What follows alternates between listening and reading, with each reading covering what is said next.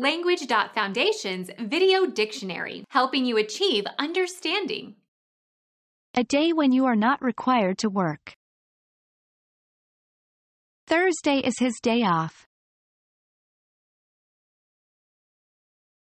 Become our student and get access to effective and free educational materials. Subscribe to our channel to become a part of our growing community and to learn English effectively.